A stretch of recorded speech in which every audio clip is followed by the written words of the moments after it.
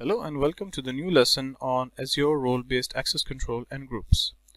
In this lesson we will discuss what are Azure roles, what are groups, how they are defined in Azure, and how we can efficiently manage access to the resources and enterprise applications using groups and roles. So let's start with the Azure roles first. Azure roles are set of permissions which are defined within the Azure role which determine what level of access a user would have to the resources.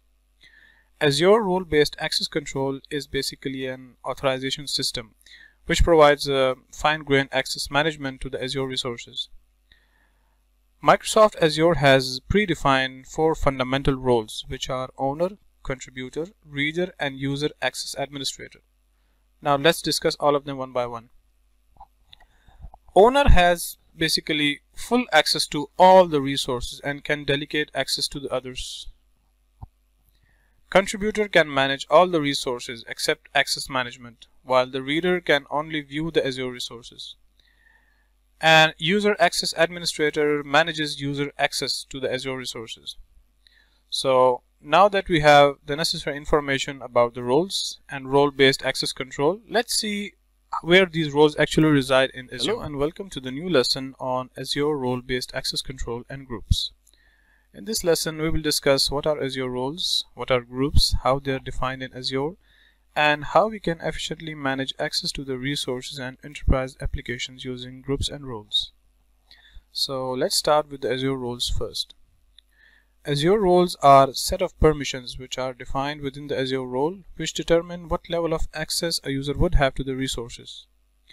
Azure role-based access control is basically an authorization system which provides a fine-grained access management to the Azure resources. Microsoft Azure has predefined four fundamental roles which are owner, contributor, reader and user access administrator.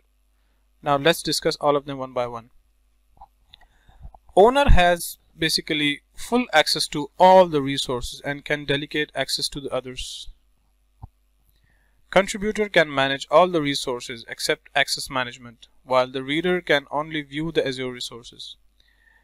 And User Access Administrator manages user access to the Azure resources. So now that we have the necessary information about the roles and role-based access control, let's see where these roles actually reside in Azure. So here we are at our Azure portal. Let's navigate to Azure Active Directory and then in here I can see the option which says roles and administrators. So let's click on it. And in here we can see all the predefined roles that have been pre-configured by Microsoft Azure okay? So let's find out a simple role and see what it has for us. So let's say I have this this role which says directory readers. Now the description says can read basic directory information commonly used to grant directory read access to the applications and guests which means that if I assign this role to some user or some application he or the application will be able to read the directory information our Azure directory information I'm talking about okay? So let's click on this uh, role and see what more options it has for us. Okay so in here we can see this option which says add assignment. So if I am to assign this role to some user I can simply click on it. And then in here I can see select members. So if I click on it and then in here I can search for my user which is let's say John Doe. So I will click on it and then select and then simply click next. But I will not do that right now. I will do that after a while okay? I will go back to the previous screen and then see the description for this roles okay so in the description tab we have the name of the role. We have the description about what it role actually does. And the important thing here is the role permissions. Now these are basically the set of permissions that we talked earlier in this video. These permissions will actually determine what what uh, what level of access this role would have for the resources okay so in this case I have the directory read permissions okay? So you can go ahead and read all of this if you're really interested but in most cases you won't even need that because Microsoft Azure has uh, pre-configured their roles so well so well that in most of 95% of the cases you won't even need to create new roles for, for, for yourself. But if you still want to create uh, the option is right there okay? So I'm going to show you that option as well. I'm going to go back go back and then create a new custom role. Add a new custom role. I'm going to click on this option and then it asks for the name of the role the description. And then if you want to clone a custom role that have you that you have previously created or you want to start from the scratch it's entirely your uh, your choice okay? And then this is the most important tab the permissions. So if you're creating a role you you have to know what permi what permissions you should give to your role okay in order to have it behave as intended so you can go ahead and search about these okay we have talked much about the roles and at this point I hope that you have a very good understanding about what roles are in Azure. Now from administration's perspective it is not a very good approach to assign roles to individual members or users. Technically we can do that and we saw earlier that we can assign roles to the users directly but imagine giving different roles to a hundred or hundreds of organization members and then having to keep track of all the access and permissions granted to every one of them. Well, this is where the concept of groups comes in. And the good thing is that this concept of roles and groups in Azure is mostly similar with the concept of groups on our on-premises Active Directory service. So let's see what the groups are in Azure. In simple words, Group is a collection of member or users to which we assign access permissions or roles which are then inherited by the individual users automatically those users who are the members of that group okay? So let's go ahead and have a look at how the groups are actually uh, created how they look like in Azure and what can we do with them. Let's navigate to Azure Active Directory once more. And then from here we go to the option which says groups now in here we can see all the groups that were previously configured. Now in here we can see group types. Now for all company groups it says Microsoft 365 and for the second group it says security. Now what are the group types? We have basically two group types in Azure. One is Microsoft 365 and the other one is security groups. Now security groups are related to the access management for the Azure resources which include storage accounts, virtual machines, databases, etc. Whereas Microsoft 365 groups are related to the access management for 360, Office 365 related applications. It could be Teams, it could be SharePoints, so you get the point, right? And by this option, we can create our own groups as well. So let's see what this option has for us. Okay, so I'm presented with this blade now the first option is group type. We have already talked about that. This one is the group name and then the group description. And then this very important option over here which says Azure AD roles can be assigned to the group. Now Microsoft Azure has added this feature for us which will allow us to assign roles to the groups which is a very very useful features and which is the which is actually where the groups shine. Okay? And then there's this option which is a membership as a membership type which is assign dynamic user dynamic device. So based if, if we select these dynamic options maybe it will um, maybe the user will be assigned to this group based upon some policies or rules etc okay? You can go ahead and search for that. Now let's talk about owners. Who are the owners? So if I add owners to these groups let's say I add this user John Doe. Now John Doe will be able to manage this user. Now the important thing to understand is that John Doe does not have to be a part of this group a part of this group in order to be the owner of this group okay? It can be external user as well. And then finally we have the members. So in here it says no members have been selected. So if I click on it and then I can search for any user that I want to add. So let's say I would I search for John Doe. So here it goes. We can simply click it and then select okay? Now before I proceed I have uh, set up a very simple a very simple lab which will cover all of these topics which have which we have studied so far in this lesson okay? So as you can see on the screen I have set up a simple activity which is to number one create a group.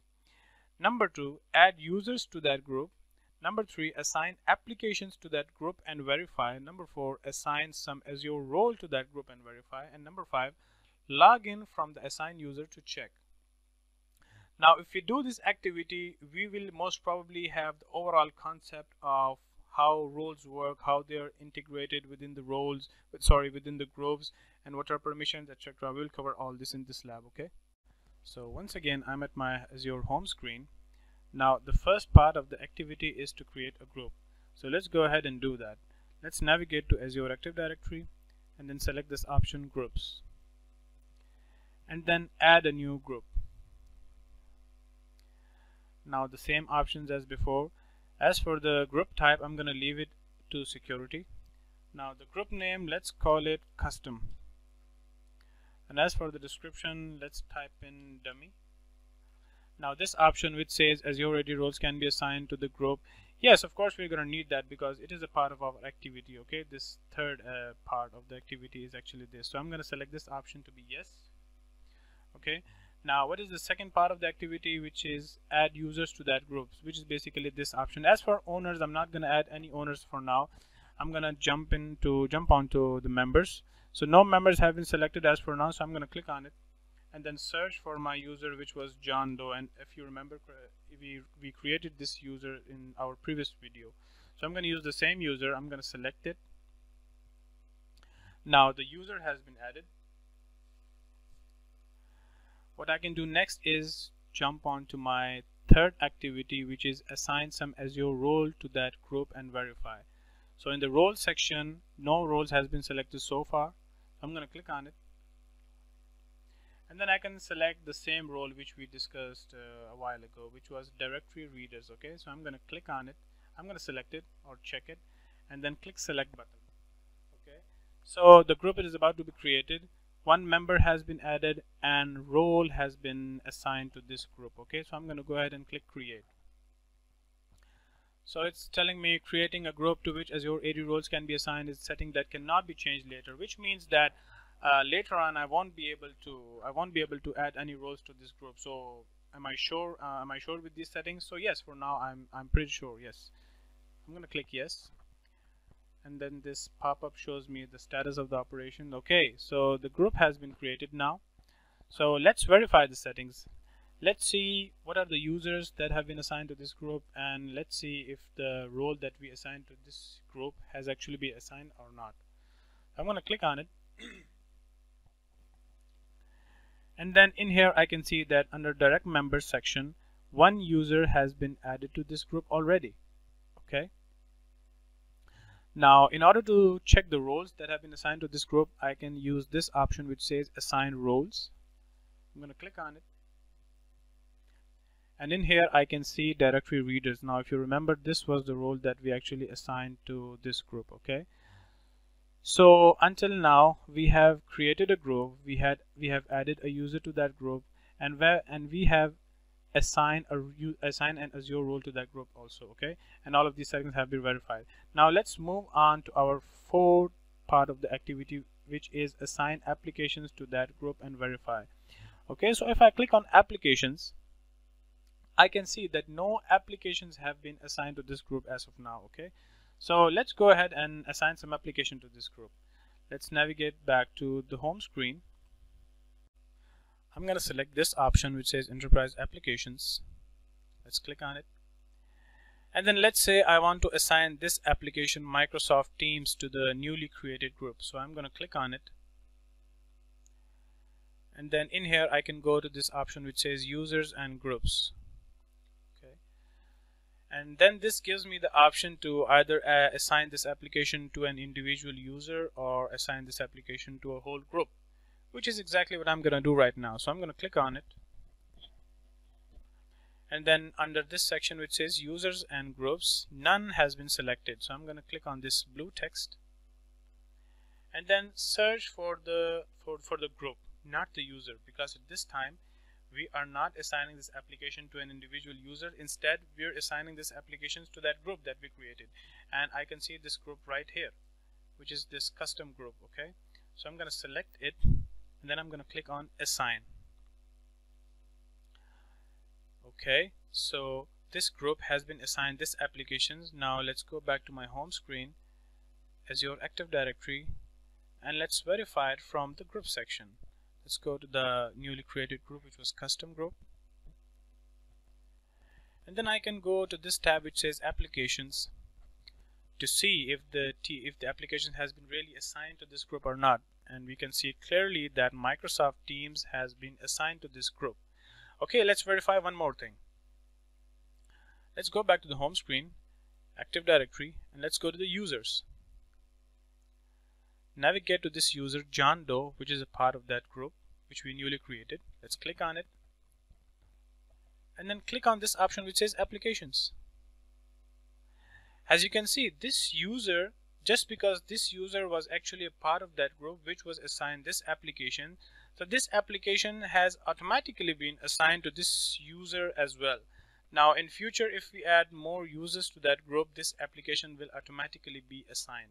Okay so from administration's perspective this is a very cool feature to have okay? Now that we know what are roles, what are groups, how we can assign a role to the individual users as well as to the whole groups, I want you to go ahead and create a similar scenario and practice with it so that you understand it better. With this, the discussion on roles, groups, and role-based access control is over, and I'll see you in the next session. Thank you for watching.